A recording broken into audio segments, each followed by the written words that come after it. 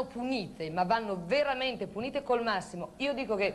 Questa storia di venire in televisione, poi c'è chi incenda la sedia per venire in televisione, c'è chi ammazza il bambino per venire in televisione, c'è chi mostra le gambe per venire in televisione. Ma guardi, lei cioè, attenzione, cioè, questo guardi, fatto di venire in televisione... Scusi, è, generale. ma veramente io mi auguro che lei si renda conto di quello che dice, perché eh, io direi che non so, io non avevo una grande considerazione per lei.